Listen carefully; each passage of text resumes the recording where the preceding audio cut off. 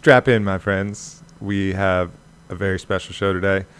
Hamilton Souther from Blue Morpho Ayahuasca Center down in Peru is here, coming highly recommended by a variety of different people. Most recent of which is one of my favorite recent Onnit hires, Mr. Jason Havey, who's hanging out over there, um, who's had his mind blown by this center and, of course, by the master medicine, the mother. Um, and so you know, I know you've had a chance to speak with some of our good friends like Amber, but um, Yeah. honored to have you here and, you. and mix it up with you. Yeah, thanks a lot. Get it's a real it a pleasure to be here and excited to get to share the story and you know keep Yeah. keep spreading the the word around something really special in this world. for sure, Yeah. for sure. So, at some point, you had, you know, you had the calling Yeah. and found you you found yourself heading down south, presumably. Yeah. And uh, so, tell us a little bit of that, and then we'll get right into it. Yeah, when I was uh, year after I graduated from college, uh, I started having spontaneous visions, and the visions were clearly spiritual in their origin, and I didn't have any explanation for them, but they continued. And within six weeks of the start of the visions, I was told that I would go to Peru and I would find this sort of prophesized apprenticeship and that I would become a Peruvian shaman, which for me sounded like, you know, You know, so, Twilight so, Zone so a lot of crazy, people, a lot right? of people when they have a calling, it's not quite that literal, Right. No, this is very literal, but I did not think this was going to come true, though. You have to understand. Like, I was like, ah, yeah, whatever. This isn't going to come true. But I certainly went to Peru, and it did come true. And so that, that, you know, made me have to think twice about what the universe was and what life was and what was happening because I was just in my early 20s, you know, so I was just kind of starting to embark on what we'd call adult life. Yeah, that's uh I guess you know the calling comes to everybody in a different way, and I guess for you, the universe was like, this dude needs it directly literal. Literal. yeah, literal. But I'd gotten to a point in my life where I was kind of like, where am I going? What am I doing? What is this? And I was certainly disenchanted and it got a little dark and stuff like that. So I think I needed a literal wake up call. And Right. uh, I didn't have a background in spirituality or anything like that. I didn't really understand it. It didn't mean anything to me. And so, you know, when you have these light beings talking to you, you, you then decide, you know, whether you're you need help or whether they're real. You, you Right. decide that, Yeah, you right? gotta- you gotta make Uh, that so I figured I had to give them the benefit of the doubt. So I'd go to Peru, and if it you know didn't work out, then I'd just be quote unquote normal maybe or something. But Right.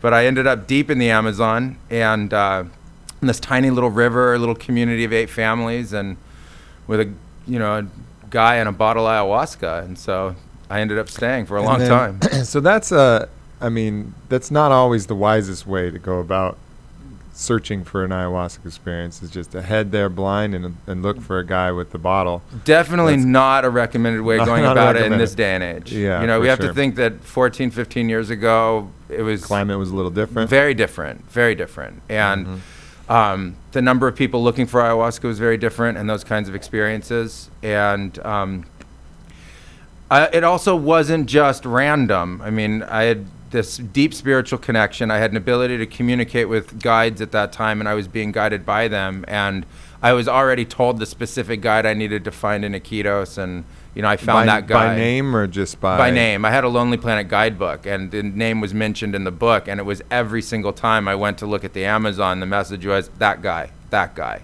that guy, no that? one else. Can you share the name? Or was that guy? Uh, it was uh, it was a gentleman by the name of Moises Torres, who's you know now kind of retired, but he was the Mhm. only jungle guide from Iquitos that guided into the area of the forest where I ended up apprenticing. Right. So it was very clear that I needed to find that guide because that was the only guide that took people to where Don Julio Gerena Pinedo lived, who was the sort of grand elder that trained me. right. You know, and then it turned out that Alberto and Julio had had visions for 10 years before my arrival that I would come.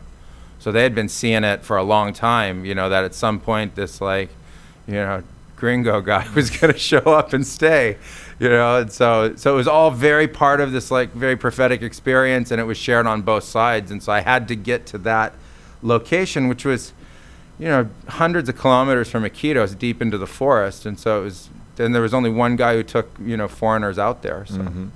You know, it, so inevitably, when you experience enough plant medicine, it begins to reshape your paradigm and the rules by which you abide by. Absolutely. Um, but you know, you're talking about these things that allies were guiding you. You had these visions of these light beings. You Sure. know, how does that? How did that fit in your existing framework before the plant medicine, and how has that been kind of sh- shaped afterwards? You know, it didn't fit at all into my previous framework. My previous framework was born into a family of Western medicine.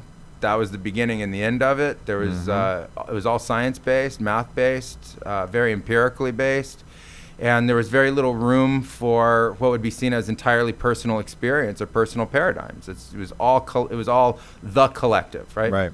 And so when I went down there, um, there was just a tremendous amount of doubt, confusion, you know, and I started to have to open up to a much kind of wider and broader view, which was well, maybe, you know, the other six, seven billion people on the planet who know of this stuff and have experienced this and have culture with it and collective mythology aren't wrong. You know, I kind of realized I might have been really arrogant in my youth that there might be a whole lot more going on in the world than what I had initially, you know, seen and understood. And then when I got into it, um, the pendulum swung the other direction. I started to see that that was, you know, this new paradigm and this new way of thinking and this new exploration of consciousness was where the real deep wisdom was and the real knowledge was. you know, and then over the years from there, the pendulum has kind of swung back into the middle where it it's really does now hold both. You know, mm. and, and in that journey, it, it, I think for a period of time, I was really connected to this idea of, well, kind of who had it right, because there was this real dichotomy and this real opposition Sure. You know, modalities. And then I started to think something very different, which has been fueling my work now, which is that it's it's not about right or wrong or about who has their finger on the pulse, but it's about consciousness. And I see that consciousness gets shaped, and it really is the bridge of the entirety of our experience. And I got really fired up about how human consciousness shapes human experience, and mm-hmm. you know what we can do to to change the state of consciousness that we're in. Your your journey echoes a lot of you know has a lot of similarities with my own. I mean, it, it first started with you know you get this kind. For me, the visions didn't come before the plant medicine; it came Yeah. kind of after that. And when I had that direct spiritual experience, and when I had the direct spiritual experience, I got really angry at the traditional paradigm that says you have to go through an intermediary in order to speak to source or Sure. speak to God. You know, so I got really you know, pissed at the at the the desert religions. It said, you know, talk to your priest, and the priest will relay the message, and then get the message and relay it back to you. And I'm like, what the hell is that system? You know Yeah. that. And so, you know, as I've gotten older, though, then you start to kind of be able to bridge, you know, bridge the value of all of these different traditions and kind of see a more temperate. Um, kind of viewpoint. But I think one of the greatest lies still ever told in the world is that people can't go out and find these truths themselves. They have to go look in a book or they have to go talk to somebody else. Um, the truths are there for everybody. And I think that's the very heart of this medicine and shamanism in general. It's I'll show you, not tell you. Yeah, first of all, the shaman is a guide. Mhm. You know, in visionary work and consciousness expansion, shamans are guides. And in traditional tribal societies, shamans are literally medicine men and medicine women, which means doctor. Know, and so you have that you have that real split between, you know, what a doctor is in the Western world and what a doctor is in a tribal world. And this, I think, simplest difference is that in the, the tribal world, the doctors never separated mysticism and spirituality and spirit and energy from the kind of whole collective knowledge base or ensemble. You know, and then you then you then see as you start to explore more and more and more these incredible commonalities you know these incredible commonalities in visionary experience the wisdom and knowledge that you come into contact with. What happens to your mind as soon as you awaken the heart and the heart starts to open up and really becomes like a chalice that holds the mind and mm-hmm. gives it stability and structure. And you start to see a real difference between the institution and the institutionalization of these incredible mystical truths and understandings about life.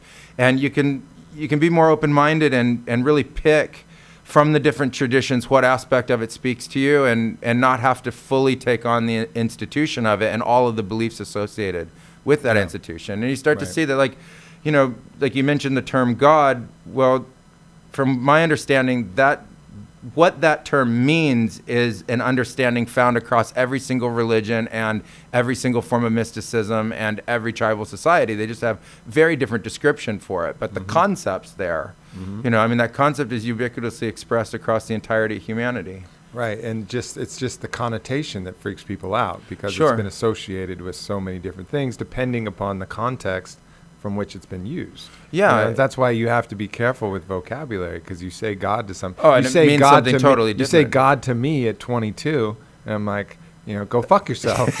Or, you know, I, I mean, I was angry at Yeah, that, at sure. that kind of paradigm. Whereas, Sure. whereas now the the vocabulary, as you said, doesn't bother me because my understanding extends far beyond what any.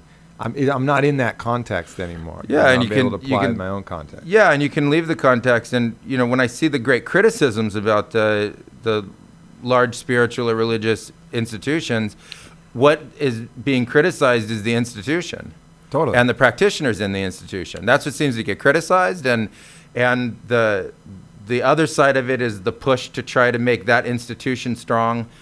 And what seems to be left out is the real mysticism within every single tradition, and Yeah, and the it's real- there. the It, real it valuable really is there. Yeah, like you know, people can can say whatever they want about uh, any of the the religions, but in all of the religions, there's a paradigm associated to what we would think of as duality or a dualistic construct, where there are opposing forces or opposing pieces, and Mm-hmm. you start to look at it whether it's you know angels and demons, or it's yin yang, or it's light dark, or it's all Mm-hmm. Tao and flow. You know, you start to see the commonalities, and what I would like to see you know, for people who are who are really curious and they're exploring and they would like to find these truths out for themselves, is to to step away from the antagonism about all of it and really just get open. yeah.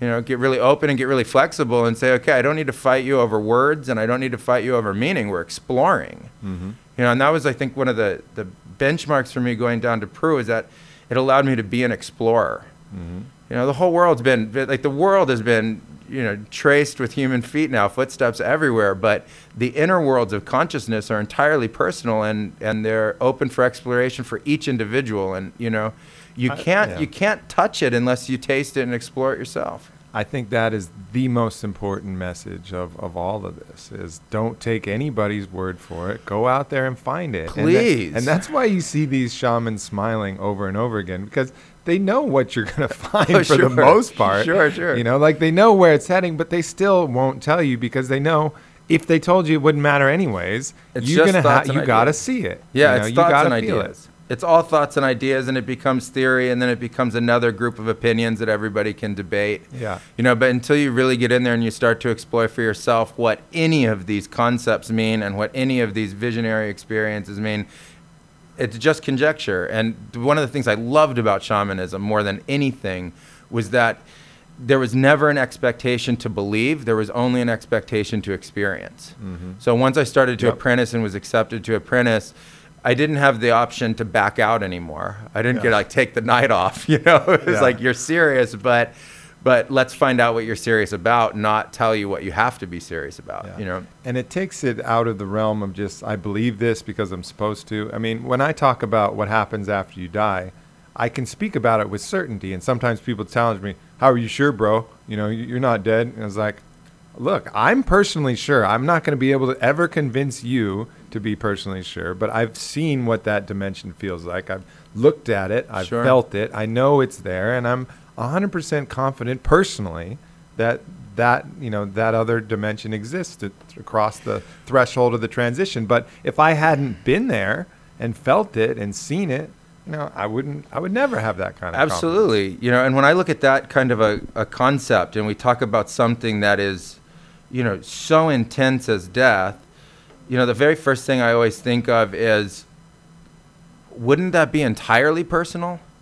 How is it's going to speak to you? It's not speaking to anybody else, right? Right. Everybody at the funeral's alive except for the one guy who's dead. So, so that experience has to be entirely personal, and then, and then we don't even know what parts die other than just the body. We know the body goes into stillness and then mm-hmm. you know decomposes as it was constructed, but, but the experience beyond that, and that's where I always go back to consciousness, shows us the the infinite. It shows us the eternal. Time's different. Mm-hmm. It shows us the emotional, completely different. Mm-hmm. Shows us the connected, completely different. Shows us the multidimensional, completely different.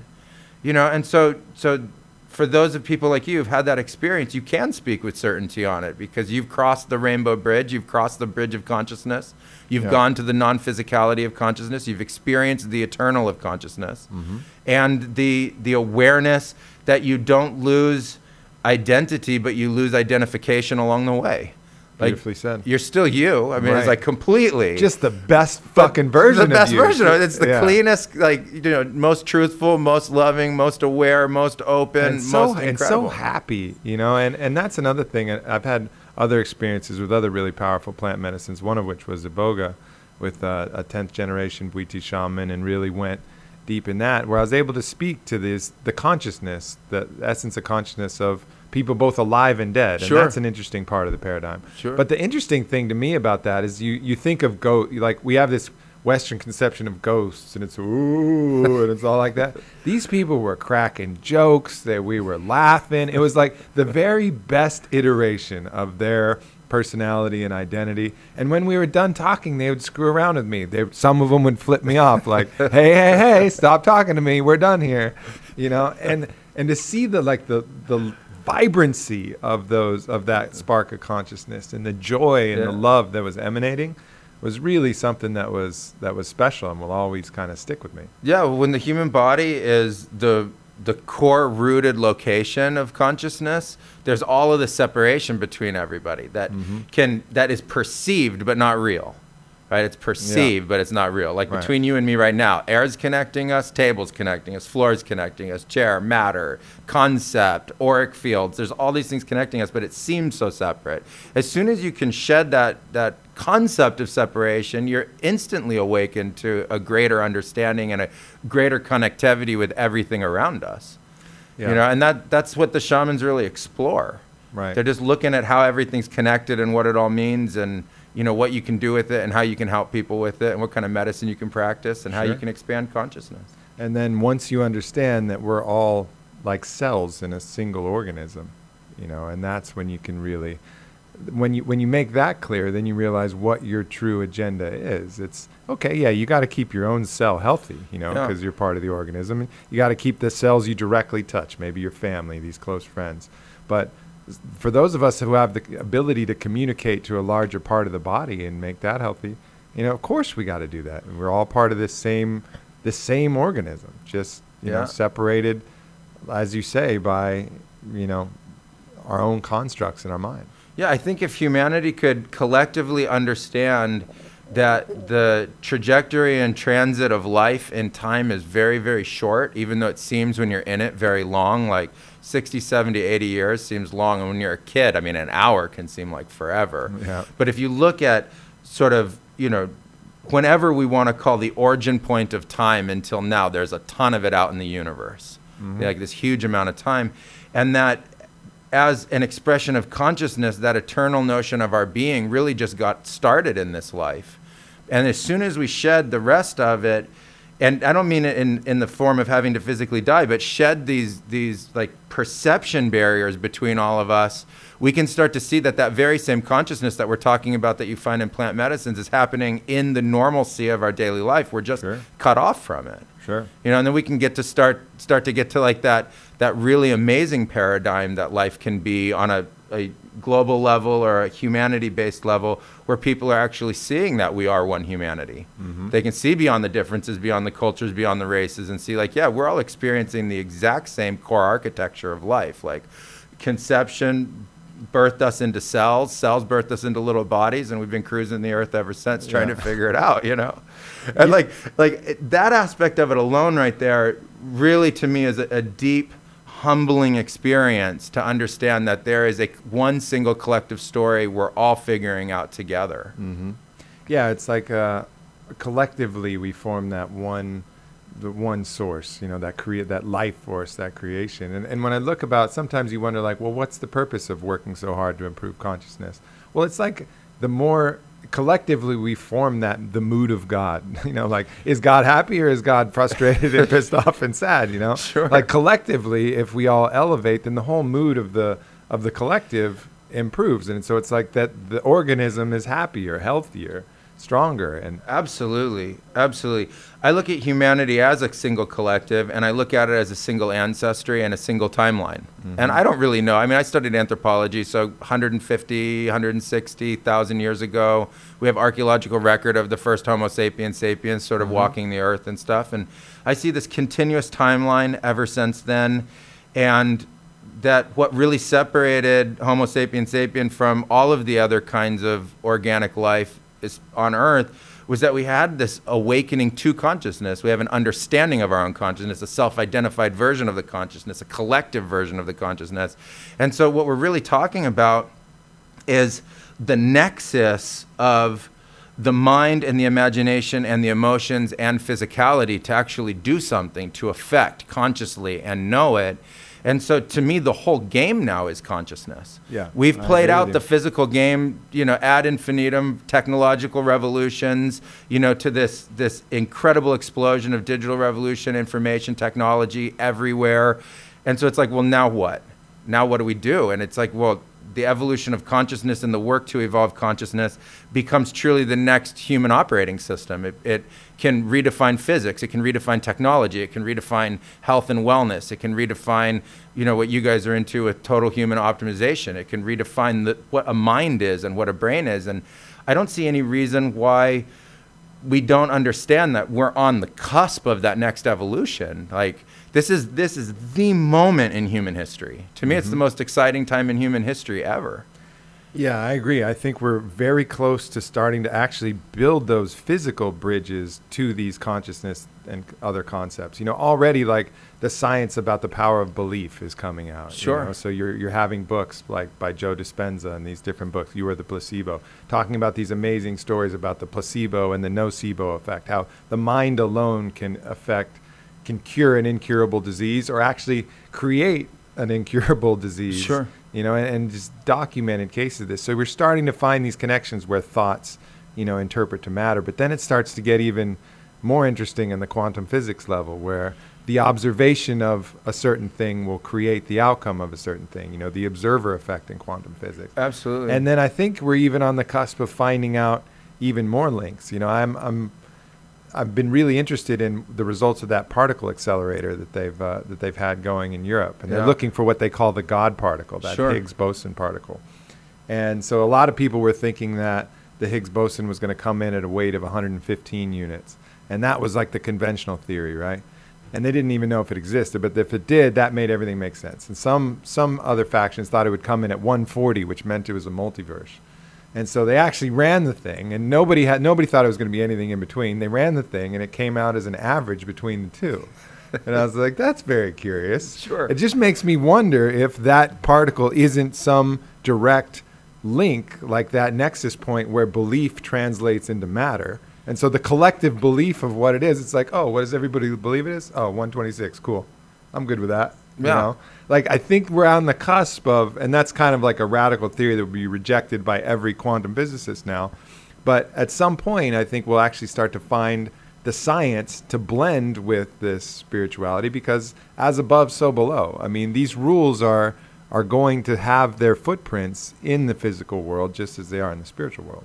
Yeah, the work that we're doing right now with the Blue Morpho Foundation and sort of our expansion into the, the modern world, because, you know, I lived in the Amazon for 12 years straight, just practicing traditional Amazonian ayahuasca shamanism, is to take the mystical knowledge that we've amassed and actually apply science to it and apply math to it. And mm-hmm. we're in the process right now of creating a coalition of astrophysicists and particle physicists to be able to start to mathematically model the mysticism and bring mystical understanding into hard science. Yeah, because it's. I mean, the connection will be there, and that, that I agree with you. That's going to be the real revolution. Just as the clinical studies that have been done on psilocybin and MDMA have allowed those medicines and um, marijuana, the medical kind of research that has come out, have allowed those to become accepted by mainstream society and start to become start to proliferate. I mean, the train is on the tracks for legalization of these things because of the scientific method, which has been our predominant religion in our culture. I mean, that is the religion Oh, that everybody yeah, Western to. science, So we've applied this these so-called mystical and these drugs, you know, these psychedelic drugs to that, and all of a sudden people are accepting it. Oh yeah, mushrooms. I heard that's really good for end of life care. Oh yeah, there's that study by Johns Hopkins. And oh yeah, MDMA. Yeah, it's great for PTSD. And then all of a sudden, people's minds start to open. And I think when we start to make the connections like you're working on making, where it starts to tie into more of these more of these phenomena, it's just going to really open up people's minds to a truth that has been, you know, forgotten by most people. Yeah, and I think the the sacred plants are so important in that because, you know, through the work that we've done at Blue Morpho, we've had people from 60, 70, 80 countries from around the world come and 48 of the 50 states have come to our center from every single background and walk of life. And so we've had these like, you know, MDs and PhD doctors coming to us over and over and over again, looking to extend not only their own understanding of the universe, but their own work. And all of a sudden, we have this like watering hole, this meeting point somewhere in the world around this understanding of exploring consciousness in conjunction with these plants and it's bringing together people that never would have sat mm-hmm. around a table together and this and in this case it's not even a table it starts in like a, a great circle in a very ancient traditional way where yeah. everybody's dropping these you know cloaks of sort of modernity and saying okay i'm here i'm present you know, I'm a big bundle of energy. Where is this going to take us all? And then the next days, the conversation gets to become something that really more is coalition based and, you know, sharing ideas and crossing these gaps that you would never see, you know, in other places. Yeah.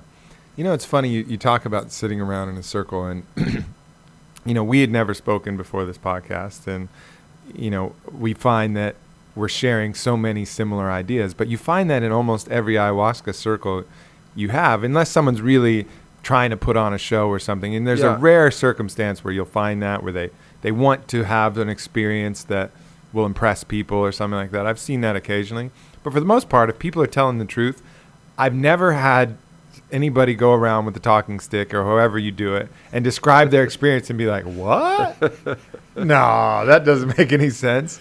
It's like you everybody comes to truths that inherently sit as you know, sit well as and, and in, in congruent with the same paradigm. It's it's a wild phenomenon. Whereas no matter who they are, no matter what background they come from, when they share their experience, you're like, oh yeah, yeah. And I, I think with in that case, what we're getting is a group of people to sit down and agree to some core similarities to life. Right. And when I look at modern society and the modern lives we live, I see that most modern people were born into incredible stability in those core sort of vectors. And so you have, you know, relative physical health and well-being. Like I always say to people who are fairly sick, focus on the 80, 90% of you that's really healthy because it's that's where we're going to find that movement. Mm-hmm. Same thing with the mind, same thing with the emotion, same thing with the imagination.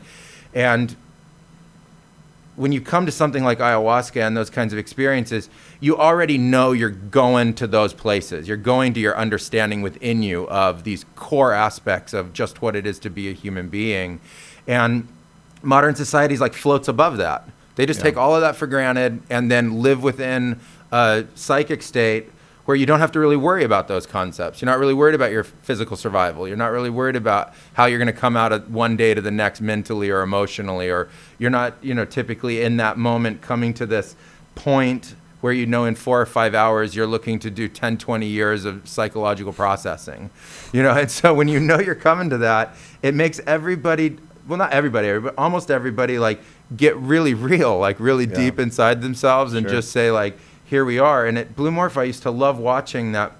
The first day, everybody was pantomiming like their own existence. Right. Like literally acting it out, right? Like nerves were up, anxious, like they're literally in their physical expressions, you know, like acting out what's going on. And by day three, they would just be like so relaxed in the chair, talking, sharing, expressing, and that whole mask of personality and sort of layer upon layer upon layer of this this psychological competitiveness for the space and you know who's going to have the greatest experience and competition all that was neutralized to a point where everybody's just really really in their skin yeah. you know grounded present saying like yeah i i had a big experience last night yeah. like that really rocked my world you know i don't even know how i'm going to in- integrate it you know or sure you know after that and I always thought that's something very special. It is very special. And what's also special is that there's people who inherently, I've seen it in many different groups, inherently completely dislike each other upon initial meeting. You know, it's like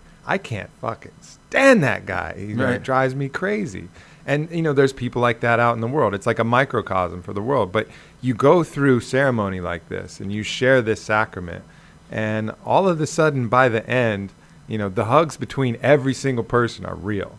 You know, whatever whatever differences, yeah, that may still not be the person you invite over for Thanksgiving, but nonetheless, there's a mutual respect and uh, kind of it's just a whole different vibe that, that comes from that. And it's just makes me think that out to the, our society as a whole we're missing ceremony from our life in general. We're missing that ability to bond with people over something as important as this. It does it wouldn't necessarily have to be plant medicine but Sure. the the importance of ceremony to kind of bridge these gaps and break down these judgments and barriers that we have is so important and plant medicines are definitely one of the best ways to do that Yeah, ceremony is something certainly missing in modern society. I think it didn't have a lot of space in Western scientific thought, like you mentioned, sort of the proliferation of the concepts of Western science.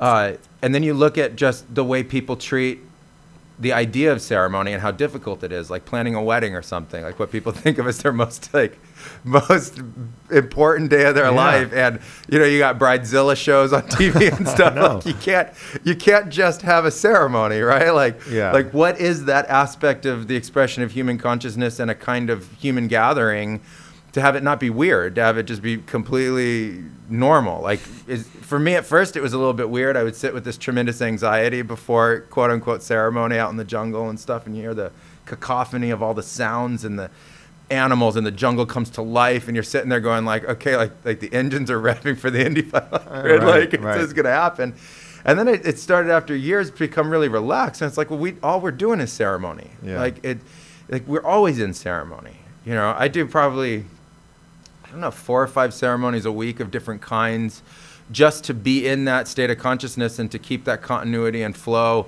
of openness and and the the expression of our energy and sort of that that vitality that we get from that experience and I think that you know the message is ceremony is natural Mm. it's natural Yep. it's natural to revere life we revere life Yeah, and the ones, unfortunately, you, you touched on. I mean, the ones that we do have have become increasingly hollow, really, of actual genuine meaning. I mean, think about the most important two: weddings and funerals. Really. Yeah. You know, and so e- ev- everyone, you know, bridal shower or bar mitzvah or what, put anything, birthday, any anything like that, and it's really about gifts, show, drinking. You know, it's about things that really are have absolutely nothing to do with real ceremony. You know, for the most part. I mean, there's some tender moments that can happen in a wedding, but it's not really designed to, to magnify that necessarily. It's just kind of like it happens because the union is special, if it is special. Otherwise, it's just like, man, what the hell is this? It's- Yeah, but you know, look at the paradigm that we have in Western society where in like this incredible developed, incredibly wealth, incredible expression of technology, we've also been taught you will never be real. Like never be real.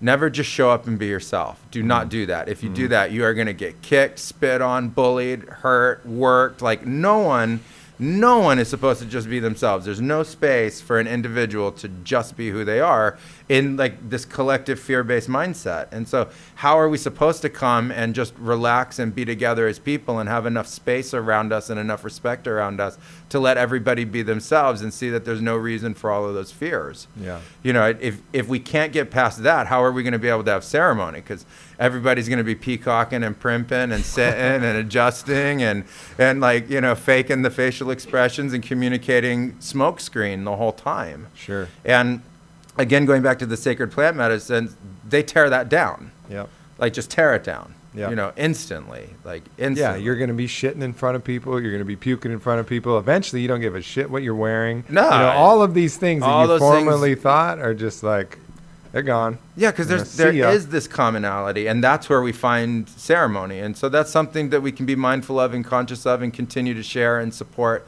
other people getting into. And I've been really working with that because ceremony is so important to our lives. and it's so common, you know, in the cultures where I, I learned all of these these different techniques and and methodologies to explore consciousness, and then coming back here, confronting that that sort of vibe around ceremony and weirdness around ceremony, and like people not really sure how to be, and so I've really started exploring just playing games as ceremony. Yeah. Like different kinds of conscious exploration games because we're used to playing games and it's something fun Mon- that we monkeys do. like games. We love games, right? we love pick up sticks, jacks, cards, Whatever. like whatever, whatever. Yeah. And so if we could have games that really opened consciousness and really helped us get comfortable with each other, it could be a great way to be able to, you know, introduce again the concept of ceremony to I- the West. I think that's really important. And even gamifying, there's this new app and technology. It's called the Muse, and it's a portable EEG device that you put on your head that measures your brain waves. nice. And then it's hooked to an app that gives you biofeedback to when you're in a calm meditative state. So you focus on your breathing, you can count your breaths or whatever your practice is. And then, so when you're calm, you know, by reading the brain waves, the day at the screen gets calm and it's a sunny day and there's birds will start chirping if you do well. And if you're really really calm a bird will land on you and it'll sound like you got headphones in. And then when you get distracted you know the the storms will blow in and wind will go but the whole time at the end of the day you get a, a reading of how much time you spent calm how much time so you get a point score and how many birds and whatever and i think this has incredible potential because Incredible it potential. gamified you know meditation Sure. not only is it giving biofeedback which is really important but Yeah. you're getting points so it's this addicting thing like ooh man because they brought it out at this place called summit series which is a bunch of entrepreneurs and it was funny Yeah. because everybody was going around and everybody was trying to out meditate each other I was like, "What was your score? How many birds you get, bro?" you know, and even me, like, I knew how silly it was, but I, I had a good session, and I Yeah. couldn't help but being a little bit like, "Oh yeah, one bird, huh? Okay, cool. I got four. you know, like, and I would try and stop, like, "Stop that, Aubrey. That's silly. That's crazy. You can't do that. you know, you, you can't be proud about meditating this person." But we're so wired to this competition and game that Yeah. that instead of just completely denying that, but helping people with like a little foot in the door and saying, "Hey, let's have some fun with it." I think it's a smart way to do it. Yeah, I think having fun with it's key. Um, if it's not fun, we're not going to do it very long. Right. We, we already do enough things in our life that's not fun, Yeah. right? Like, how many people really like their jobs? Like, really like, oh man, that's fun. Like, oh, it's so fun every day. oh, fun. Oh, People hear it that. on it, Hamilton. Oh, my, that is something very true. Uh-huh. I walked around your facility, and I have to say, the overall mood and vibe here is pretty special. I might hit you up for a job after this. I, might, I might be like, hey, you know, I think I want to stay in Austin. Maybe I can go to Peru and you can take my job for a while. I'm pretty sure you got We can get on Oprah and do a role reversal thing, right? Yeah, we can do switch it. we'll do this, the switcheroo and see how it all goes. Yeah, I'm in. I'm in. We'll just swap around. We'll be like, you know how like Dr. Manhattan had other avatars you could work with to like work on different stuff. That would actually be really fun because we could see how after all of this training, how the psyche stacks up to like 120 ceremonies, you know, of Yeah. Aya in a year Yeah. and see how, see how it holds. Beautiful. Yeah, we've watched people, you know, when they come to train, and, and this is also for the people, I get so many, you know, emails and stuff and Facebooks and things like that about people asking about apprenticeship. Like, if you really want to learn, you got to get ready to have your head be in this game because mm-hmm. It's 100, 120 ceremonies of, you know, really hardcore mind bending experiences in a year, year after year after year after year after year.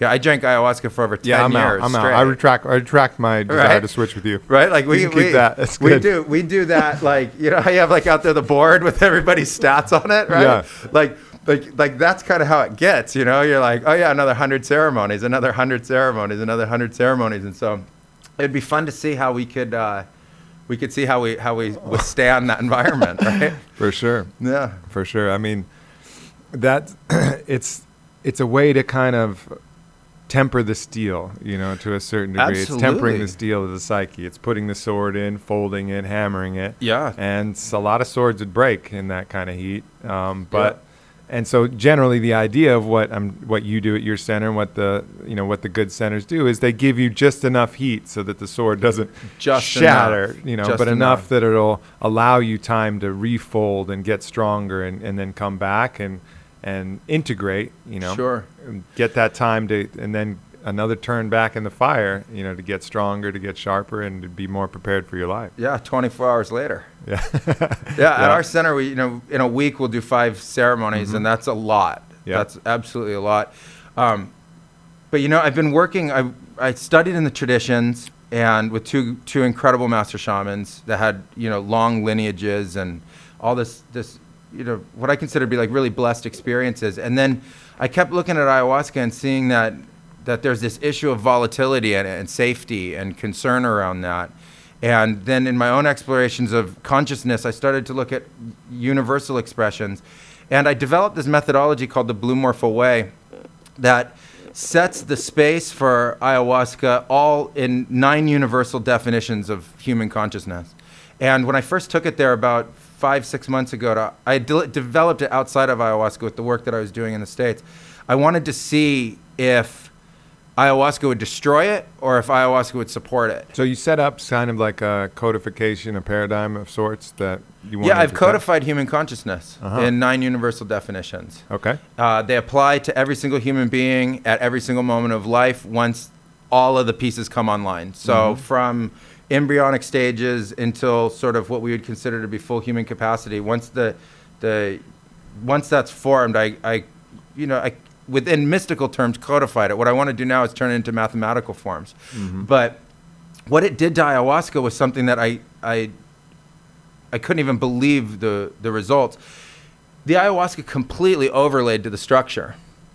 So we set it up in, inside the ceremony, and um, I mean, for those who are like real mystic nerds out there, like like I am, uh, it's it's called the medicine world, and it starts if you modeled a universe in numbers of pieces. So it's like, what does the universe look like at one?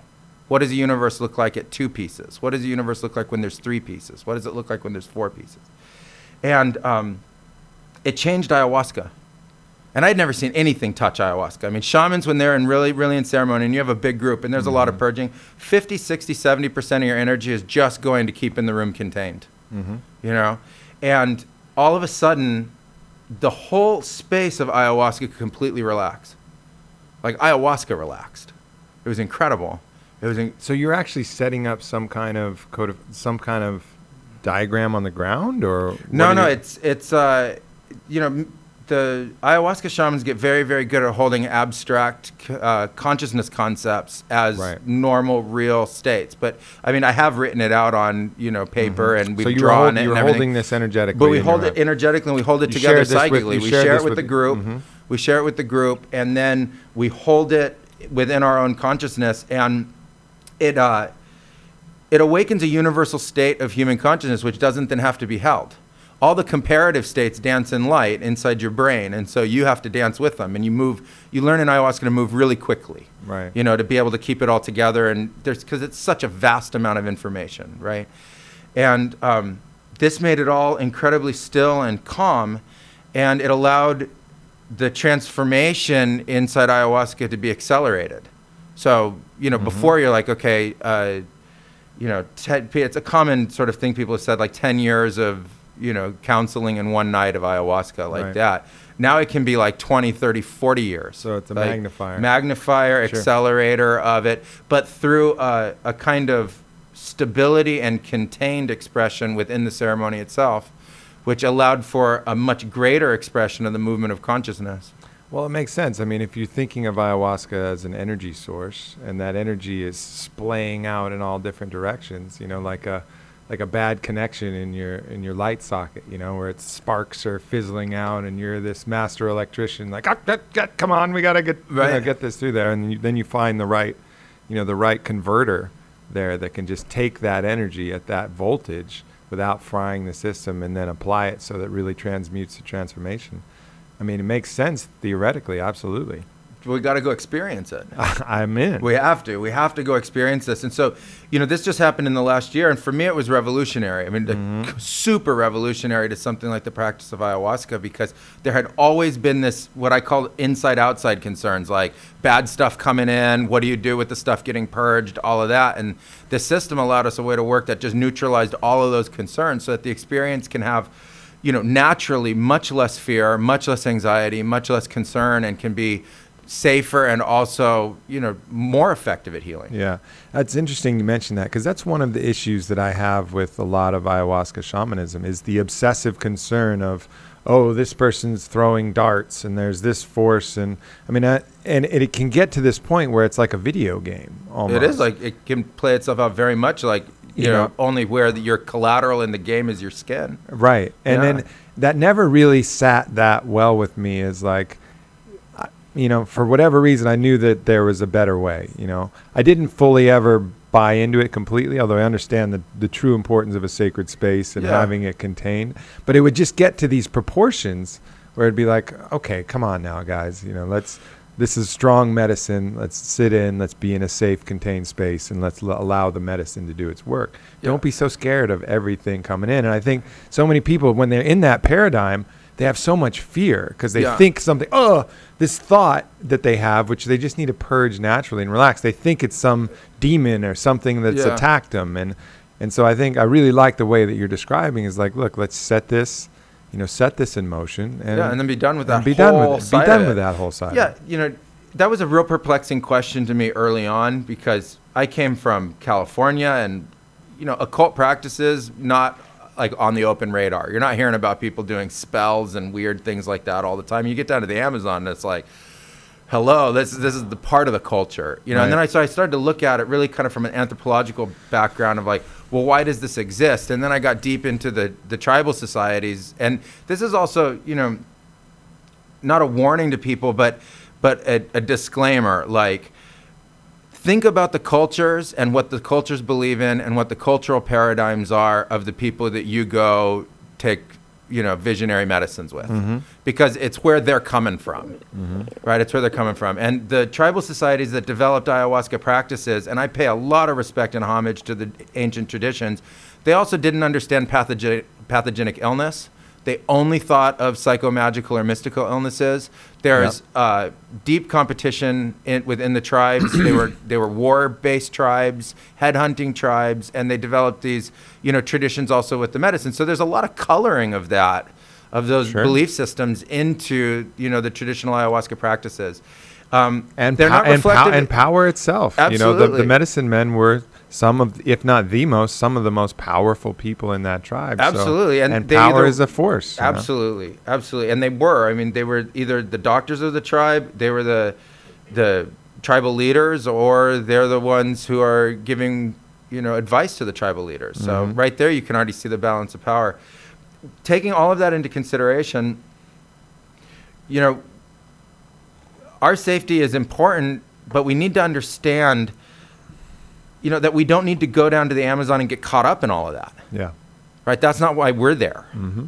right? And and I see a lot of people get caught up in all that. I used to be, you know, very cautious with people. I tell them like, be really careful because you don't really know where these people are coming from, or you know, they're not coming for the same reasons. Like when I first lived in the Amazon, out where I lived, there were na- like full-blooded natives where Spanish was a second language to them, and there were also mestizo shamans, and um, they were the Matsés cat people. They were really interesting people. Mm-hmm. Really interesting people. It's really interesting to know a group of people that do not share the same common law structure as you. Like inside you, when you just sit across the table and look at them, you know they are not being controlled by any of the same concepts of law. They're not thinking that way. You get right? a little, you, Yeah, your yeah, energy, yeah, but you you're like a little, woo. Yeah, yeah, no, I, I remember the, I mean, this is an aside, but it's a story we're telling. I remember when the Peruvian guys, you know, and these are like frontiersmen, right? They're telling me, be careful with those guys. right? The frontiersmen guys are like, and I'm already like being careful with the frontiersmen guys, Yeah, right? right, right. They're the ones going, hey, be careful with those guys. Those guys aren't like us, you know. We're like, we're like chill. those, those are those guys, right? Uh-huh. um, you know, and so I just think that that let's not be scared about all of this stuff. Let's not be concerned about these these questions, but let's also be smart about how we're gonna gonna you know think about using this visionary medicine. And there's all this stuff out there about do you need a shaman? Do you not not need a shaman? Is there danger? Is there not danger? Is there all of these concerns or not?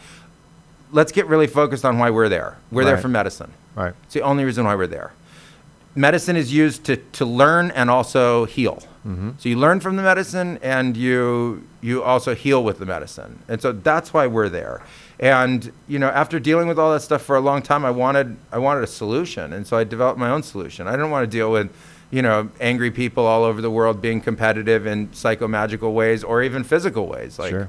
you know, I Yeah, kind of no. realized that that there's a lot more efficiency in peace.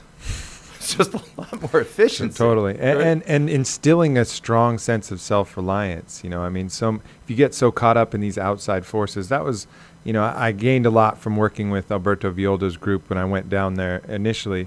Um, but you know, a criticism I had of of his school of practice, and you know, he does great things. All respect to him for doing what he started, but he has a belief in, and you can read about it in his book Shaman Healer Sage he has a belief system where these energies get stuck in you and you need somebody else to extract them for you right? Yeah. so constantly when i was down there with his group they were in constant need of help. I mean we'd be in ayahuasca ceremony and it'd be like like popcorn popping up. Like ah help me meister meister meister help me help me. Because in their mind they had instilled the belief system that things get stuck that they can't remove themselves that they need somebody else to extract.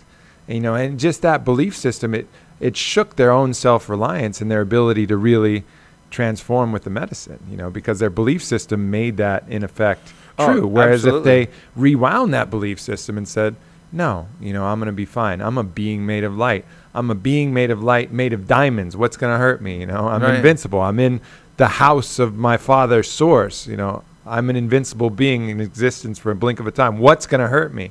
You have that attitude in there, and then you Nothing's gonna allow nothing's going to stick. You're a Teflon. Yeah, exactly. You're and, like and so, cosmic Teflon exactly. and that's what's so important. And even I've seen this Yeah. over and over again. Like people will get afraid of these other external forces. Where I know Yeah. that you know, look at yourself as this being of light that's invincible, and you are. You are that thing, and you can go through these things Absolutely. that way. And I think it's important to, you know, to not get caught up in that other paradigm where you just you're giving away your own protection and self reliance. Yeah, I mean, what we do at our center now, and uh, part of the Blue Morpho Way and our medicine world work is to understand that the universe as a whole represents all of it, like literally all of it, all of it at once, not differentiated. And that undifferentiated point we call love. We call it like this sublime grace that is, you know, completely supportive and completely guiding.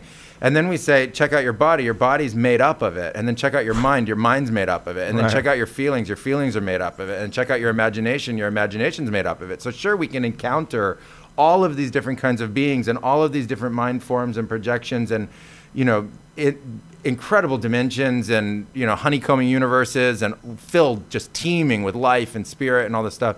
And always remember that when you're there, if you need to release something, if you need to purge something, you need to let something go, remember the love right there and just hand it over right there. Don't Yeah. try and find it somewhere else. If you find it in your knee, that's where the healing medicine and love already is. So just connect the two and then it's gone. And, Yeah. you know, we teach people how to do that themselves so that they can be self reliant, so that they're not Yeah. relying on us. I think that's incredibly important. So, what is it about DMT in particular? You know, because I'm sure you've had, we haven't talked about it, but I'm sure you've had experience with a lot of plant medicines. There's another little ax, another bridge that's built that DMT creates. It's a little bit different than everything else. You know, the other things can get you to some amazing places, but there's something about that particular molecule that allows a certain type of access that's unique. But you know, we think of that that molecule as the light switch, Mm-hmm. and so you know, imagine if you could flick a light switch to the entirety of your consciousness, and at the same time, talking about that bridge, recognize your own consciousness as the bridge, as the bridge, like a true nexus, a coming together of the entire universe coalesced in your own being, and that there's no separation at all, and you can flick a light switch through that and see the entirety of your energetic makeup, that your consciousness could and your mind could fully comprehend your atomic makeup. It could fully comprehend your molecular makeup. It could fully comprehend your cellular makeup. It could fully comprehend every single uh, synapse path through the brain, and that you yourself could rewire your brain from all the different problems that you're having, you know, to otherwise. And clearly, the the molecule of DMT is is purposeful in that. It's purposeful in that, you know, auto produced by the body itself. So, so I think that that molecule is is it is a, a molecule that's directly related to human consciousness and the turning on of light in human consciousness and there's so much fear around all this stuff in the world like i just don't see the need for there to be so much fear but i also see the need for there to be a tremendous amount of responsibility in the exploration of these chemicals and like how we can use them to to really better ourselves and better humanity. But I just see the the molecule as uh, a capacity to really not only you know re- awaken the whole brain to work together. It also then lets you kind of find that place of of nexus, that center point within you that then allows you to to see the light of the whole universe and then navigate it.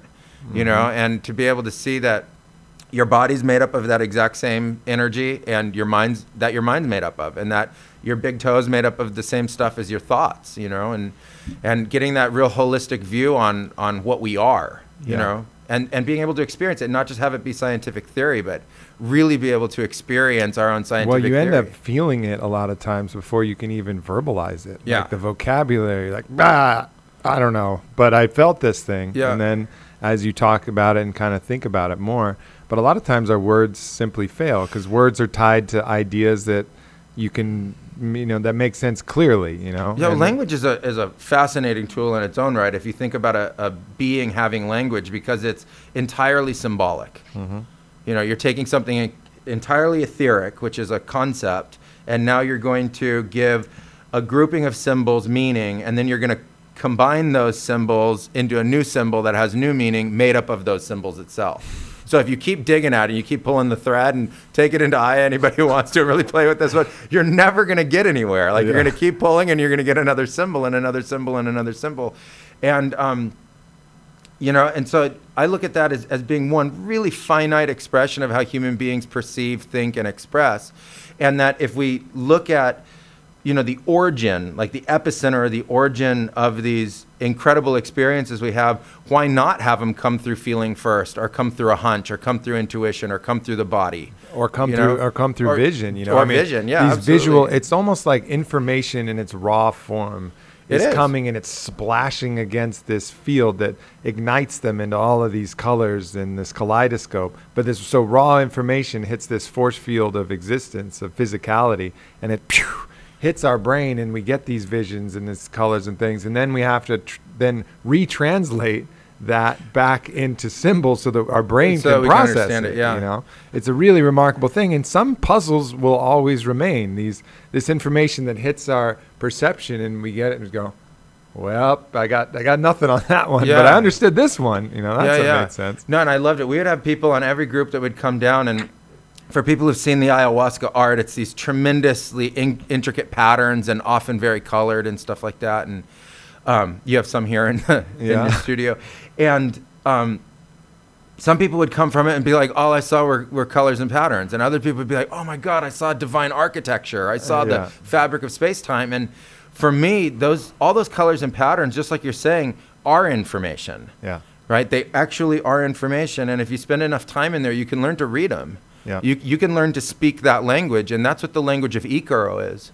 Mm-hmm. You know, the language of icaro is is a system of sacred communication between the plant energies and the human energies through that membrane of these shapes, colors, and patterns that allow a pure communication that doesn't have to then be translated. And it's mm-hmm. a vibratory language instead of symbolic. is does, is it to be would it be valuable to you know put this all down in a book like the world according to ayahuasca which is really actually the, the world according to truth? But but would it be valuable or is it just something that you know what let's just let everybody go down there see it feel it for themselves? Because i often wonder if if that makes sense if that would be helpful or if that wouldn't be helpful Well, we could contact the author of the For Dummies series. you know, send them send them through a hundred days of ceremony. I don't know. You know, you know. In, in, in all fairness to it, um, there's a certain amount of theory that I think is valuable, and I Mhm. think it's very limited. Yeah. And I think beyond that, it really does require the personal experience.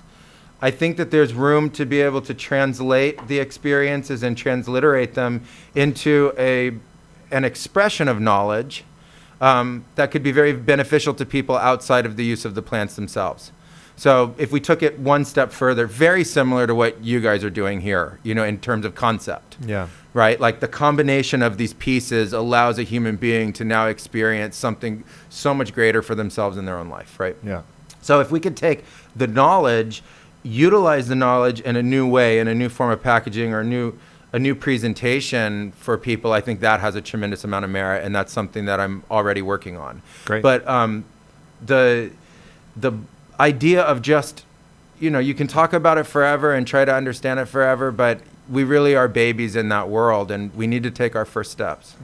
So, what are the first steps before you know, besides heading down and you know, booking a trip to Peru and, and having this? Like, what are what in your mind are the modalities that you recommend for people to start taking these baby steps?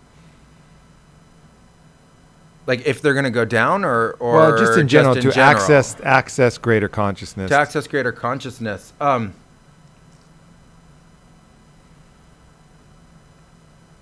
that's a really, really good question. I think if I had to like simplify it the most, it would be turn to the universe. Mm-hmm. Turn to the whole universe at once. Just turn to it. Like you've been turned to inside your brain and inside your feelings and inside your thoughts and inside your theories and inside what's going on on your phone and turn to the whole universe at once.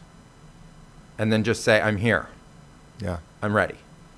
Just I'm ready. Let's okay.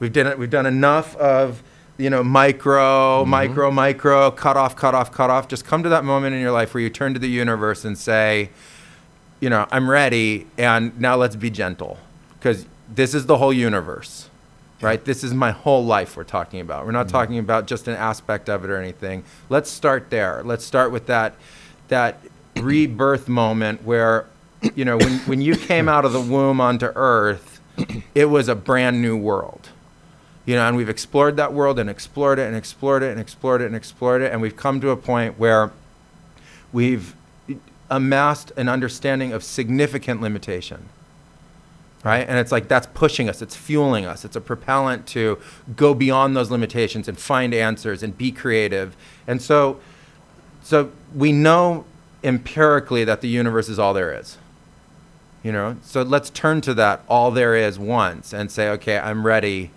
Now let's go. It's it's it's real. Now it's time for it to be real. And i think we can drop you know in huge numbers of people very very quickly a lot of the childish sort of bs running around through the entire spiritual worlds and psychedelic worlds and everything else just with that mm-hmm. one move because it's very real.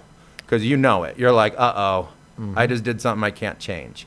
From that point i think the very first lesson we have to learn is patience. Everything comes to everybody in its own due time especially once you're open we need patience because people are like no i want it right now and it's like you're not ready right now. Mm-hmm. This game plays at a level of of intricacy and synchronicity that would blow people's minds. People are like thinking like oh that was synchronistic. It's like no every nanosecond is synchronistic. Right? There is not one movement on the planet happening right now that's not connected to your movement. So move your hand in front of your eyes and look at that movement and understand that every car driving on the planet right now is moving at exactly the same time. Understand that every human being hangs 10 on the now. People are like searching for the now. Dude we live the now. No one has ever lived in the past or the future. It is a one-time expression already of there. consciousness. We are already right there. We're not thinking it. We're not knowing it. We're not connected to it. It's not in our consciousness. We've we've you know put up a, a what i think of as an aberration of, of light in our vision to not see how the fact that we're already right there all of the consciousness, all of the healing, all of the love, all of the happiness, all of the fulfillment. We have it already. It's already, including it one already. single ancestry, including, you know, one human history, including every movement that every human being has ever made. Like I like Mm-hmm. to think of these things like I think of like spreadsheets and I think of like Excel files and I think of every category of human expression and I see that there is a ticker ongoing of every footstep that a human being has ever stepped on the planet and it's just increasing.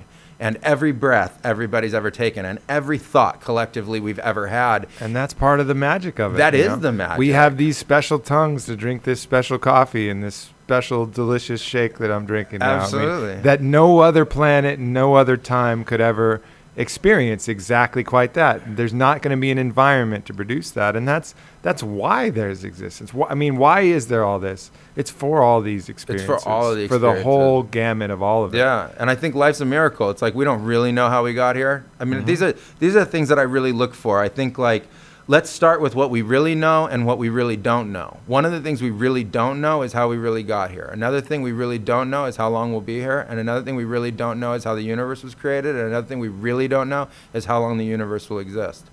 Let's just start there. That book ended Yeah. the entirety of our experience. Now we have a container to hold it all. Let's explore, right? Yeah. Let's get fired up on the exploration and see what we can do because I think we've tapped less than 1% of human potential. I think everything that is this magnificent existence we have right now is less than 1% of what we can do. And the next evolution is going to be in consciousness. And we're going to see that we're a bridge, literally a living bridge of dimension, mm. and that we can extend. And so many of us already know this that we can tap all of these different dimensions that have all of these different technologies and understandings in them and these incredible capacities to explain and understand and build and grow. And we can really answer a lot of the problems that humanity is facing on the planet right now.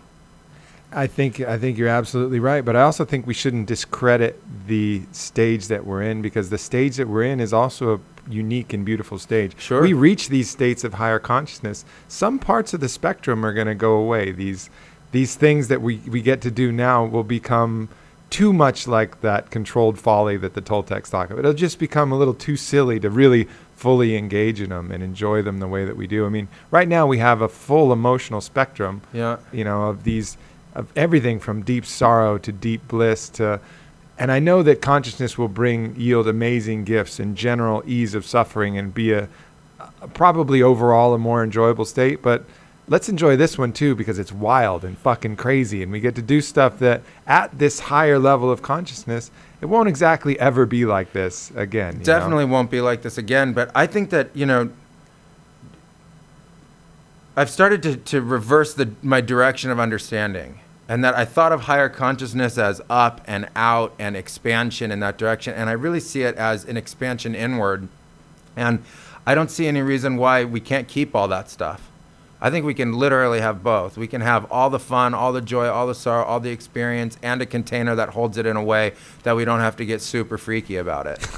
you know, it doesn't have to translate to like like you know putting holes through people and spilling blood over the fact that like we feel really bad that day. right? Like- Right, right. Like so, I think that you know, I'm I I'm I don't really ascribe to the the system of thought that that we lose our humanity by by reaching higher states of consciousness. I think that we become much more human reaching higher states of consciousness because human already is this this incredible love within us that is a medicine for everything, a tremendous amount of knowledge and wisdom, and the physicality.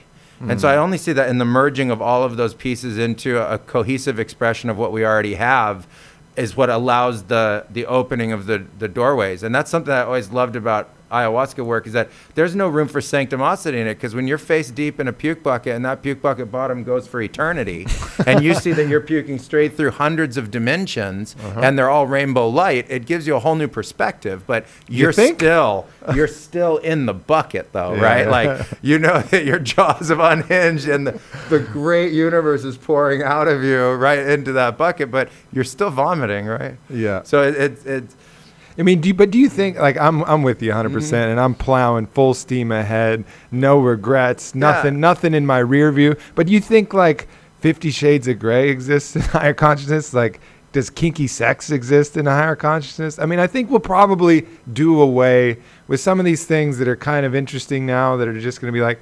I can't, you know, spanking you is not gonna really, it's not gonna really feel think- good anymore, Hamilton. We're gonna lose a little something. I think we might lose a little something along the way. That's fair, and you know, I think that uh, why not? Why Yeah, not? it's And- okay. I mean, oh, man, it's why a not enjoy it win. now? But I mean, don't, don't we really think though that where we are now and constantly drop all the high and mighty wherever where we are right now are like micro steps, learning to deal with the human psyche. yeah.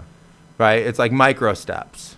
I think we can enjoy all of those micro steps. At Sure. the same time, you know, I think that there's uh, some some situations happening collectively that doesn't allow people to enjoy some of those micro steps, and we can support massive, it. yeah, We c- massive We, need to. We can happen. support that, right? Mhm.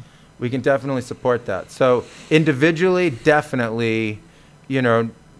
I don't see any reason why pleasure can't be part of the whole experience. It you ha- it has to be. It has to be. And it will be, It has for to sure. be. But you know, also in the greater collectives, you know, maybe it would be okay for everybody to get to eat. right? like just put it out there. Like maybe it would be okay. Like is it possible that it would be okay that and not not to take away the experiences of hunger, right? Like that has purpose too, and everything. And Buddha walking through fields of lepers have purpose and everything like that. And it all has purpose just the way that it is. And you can say that it's all uniquely perfect in every single moment, and it's also uniquely changing in every moment. And you know, I think that we need to get away though from that mindset that we get to pre-create what it's going to look like Yeah. right? Yeah. You don't get to pre-create what it's going to get to look like. You're always standing on the precipice of the unknown, and it's the openness and the receptivity and the the love that we can bring to it, or the higher state of consciousness we can bring to it, that starts to give it a direction. One of the things that, the only thing that gives me a little bit of pause is we've been living largely unconsciously for so long and procreating largely unconsciously for so long that our population growth has been really unconsciously played out on a global level.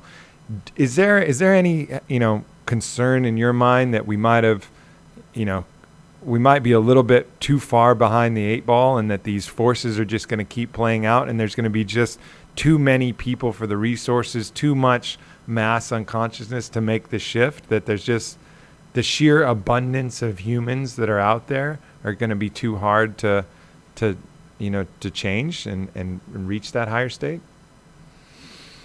I would have said yes years ago. Mm-hmm. Now I wouldn't. There's one aspect to this whole game that we never really give a lot of voice to, which is human ingenuity. And um, I would like to see an evolution of the way we operate collectively. And I think if we become more philanthropic in our nature and to realize that the real efficiency of that philanthropy, really looking out for each other, really does create a capacity to to have a, a more efficient model that the use of our resource and the use of technology and everything could sustain a much larger population than we think of. Um, the other thing I always think too, especially if we look at history, is don't count Earth out. We need to make friends with Earth real mm-hmm. fast. Oh yeah. real fast because That's a Earth common- resets that's a the common- clock that's a common everywhere, theme. right? Common Earth theme resets the clock, yeah. and so let's make friends with Earth, right? And and I think the very first step to do that is to recognize that there is literally no separation between your physical body and Earth. You're made of Earth. You die as Earth, and you're connected to it the whole time, even when you're flying in an airplane. And I like to think of outer space because when you're inside space and on Earth, it's a little harder to like get the full perspective because the the vision becomes really fragmented. But when you're like, if you think of like an astronaut looking at space, and then you think of the amount of actual space in total outer space that's you know habitable for inhabitable for people, it's this tiny little like orange peel. It's like tiny, right? It's really, really, really tiny, and you know, we need to make friends with that. We need to make really good friends with that. That's a it's a really important point that you made, and you know everybody knows the law that matter cannot be created or destroyed from nothing. Well, so far for now, Yeah. you know maybe there's some other rules there, but in general, as far as the physical laws, that's the truth. And then, but people think about growing. Okay, we grow bigger. We got add more cells to our body, add more matter. Well, where does that come from? Well, that comes from us eating stuff. Right. Okay, and then where does the stuff that we eat? Where does that come from? Well, that comes from generally it all goes back to plants. At some point, something we're eating eat, ate some plants, you know, on down the food chain. Yeah. All right. Now, where the where are the plants getting their cells from? Oh, the plants are getting their cells from the soil and the water that's coming from. Oh, Yeah. so really at the bottom, we are actually literally made of earth. We Literally, are literally. walking earth. You're walking Earth, absolutely. You know, and, and we think of oh, there's people and then there's Earth and then there's animals and then there's blah blah. No, we're all fucking Earth. we need we need to start thinking collectively at, at like the most primal level. We're Earth, and we're big enough now at seven, eight billion, whatever the population is, and I don't know how we even keep track because babies are coming everywhere, right? So, so like I see babies everywhere. So it's like there's just a whole lot more of us cruising, Yeah. right? On the flight here, there were babies. Like there's babies Yeah. everywhere. So, like that is enough of one collective, like one huge collective of a species, to to need to understand that we're Earth Yeah. you know, not separate from Earth anymore. And that's where I go to like the, the evolution of human ingenuity and consciousness because we don't know what it could really look like. We only know what this evolution of consciousness over the last, you know, five, six, seven thousand years looks like. It's sort of birth of, of the beginning stages of a greater collective in modern civilization, and then, you know, the expansion and expression of that globally. You know, we come to understand that we're Earth. We come to understand that we have a balanced relationship with Earth. We start to revere Earth, and we start to revere our bodies as part of Earth, and we start to to really, you know, come into balance with um, a more collective global expression. I think that can balance itself. I don't see any reason why it can't balance itself. You know, one thing that, that is clear, really, really clear to me, like really clear, is that human behavior is programmed Mm. from baby. Babies have no idea what they're doing in terms Yeah. of like how to be an adult human being. And so we have tremendous latitude to be able to change the shape of, and nature of how we, Yeah, we work. The, and then, Toltecs call that the mitote, the dream of the world that shapes us into what we believe is right or wrong. Yeah, and then should we do. think we're that thing, Yeah. right? Because we've been thinged. We've had enough thing thrown at us that we have become thinged instead of this, you know, you know, sort of mercurial expression of a being on earth. That real identification with human being as your consciousness expands gets diluted in certain ways. And you start to really feel like you're part of the earth. And you start to really feel like you're part of the universe. And you start to really feel like your body is a system that is in balance and harmony with the different rhythms. And that, you know, if, if we had that merging of sort of modern knowledge and ancient knowledge and understanding and balance together, I think you could see tremendous growth economically. I think you could see tremendous growth uh, in terms of social stability. I think we could see a tremendous reduction in crime and, you know, a greater allocation it's of resources. do, it's hard to do crime when you're realizing you're perpetrating crime on yourself. It's a lot harder. And it's a lot harder. know, it's a lot less, lots less fun to steal from another version of you. Yeah, and and I've lived in places where there's a tremendous amount of crime in the form of theft and stuff like that, and it really is comparative competition, poverty driven. Yeah, scarcity thinking. Scarcity. It's scarcity, and and I'm going to get me mine, and it's scarcity, and then more scarcity and more scarcity. I think, you know, again, there's a lot more efficiency, a lot more efficiency, and if we look at resource use, if it's all about efficiency Yeah, right? You know that here with Onnit. It's all about efficiency. And so if we can reduce the amount of loss and we can reduce the amount of redundancy and we can reduce the amount of friction, you're going to gain a tremendous amount of growth. We don't know ultimately what the potential of that would be, but that's what the like if, if I channel the earth, that's what the earth tells me. Like I spend a lot of time like hanging with earth. yeah. Likewise. You know, and the earth, Earth- the earth always tells me, earth consistently in a variety of different medicines and says the same thing. It said, Aubrey, focus on consciousness. I'll take care of the rest. Correct. That's how I see it too. And I, I think that, you know, with the work that I'm doing around consciousness now and the expansion that we're going to make this year in the Blue Morpho Foundation, we're going to be able to start to actually scientifically and empirically prove these things that we're talking about. Beautiful. I can't Yeah. wait. Well, you ready for some more people to show up at Blue Morpho? It'd be great. Because it's going to happen. I'm, I'm, we're right, well, tell ready. people tell people where to go. Tell people how to find you. Uh, and, well- we'll wrap this thing up. bluemorphotours.com for Peru and bluemorphofoundation.org for our charity work here in the States. And uh, to participate, you just need to be open and, and ready to have some really incredible evolution because that's what we're all about just evolving human consciousness and really taking it to that next level for your own well being and then a collective well being. Indeed. Well, Hamilton, I'm going to call this part one because I know that we're going to do this again Cool. at some point. So Great. I appreciate having you out here, and I'm looking forward to spending a couple days here in Austin. And, yeah, and well, thank you so much for letting me be here and, you know, pleasure to meet you guys and, you know, kudos to all the work you're doing. Thanks. I appreciate that. All right. Much love, everyone. We will talk to you soon. Peace.